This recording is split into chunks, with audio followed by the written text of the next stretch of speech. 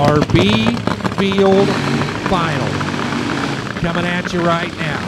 Our final round in the B category. And you'll notice on the scoreboards the indexes are gone.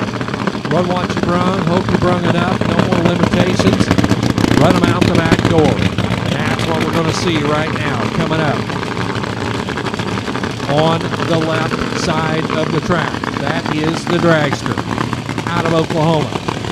Gary Wheeler, Wagoner, Oklahoma, the Outlaw Top Fueler. Over there on the left. The Lucky Sevens machine, 777 the car number. Looking for some good luck to put it in the winner's circle. His backup girl walking back right now.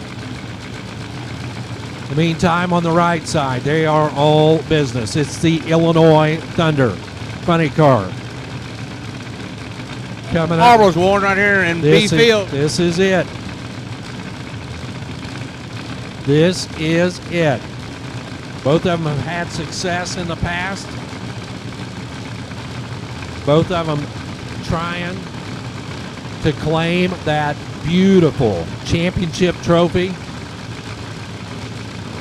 for Eric Strandberg and Levi Keenan. They have campaigned for a long, long time. Now is their chance to claim the glory. Gary Wheeler.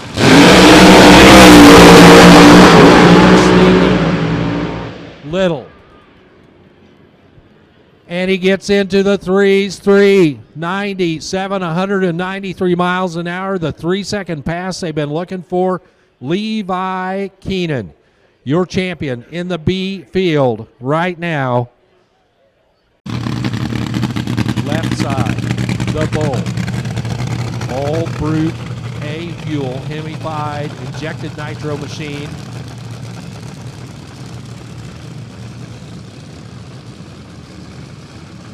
So will that championship trophy go all the way back to North Dakota or will it stay right here in Cincinnati? We will soon find out. Your A field final lining up now.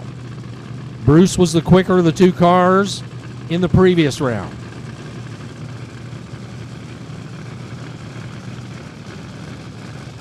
They've had their struggles this weekend, but I think they finally found the combination that works. Cliff Bax goes out there to help get his driver lined up. He finds the pre-stage light, motioning Todd forward. Over here on the right-hand side, Jake Sanders, the crew chief for the Hiltons. Seconds away from your champion. The deep stage for Hilton. Too far forward. Hilton rolls through too quick. He turns on the red light. Win light for Todd Bruce. Bruce, 375 at 167 miles an hour, a little bit off the throttle down there at the top end. 389 at 211 miles an hour for Hilton, but an 0-10 red light for Hilton as he pushed the edge a little too much, trying to find a performance advantage.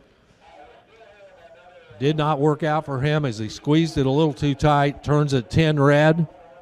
Todd Bruce, your champion here in the A field of Nitro Chaos. So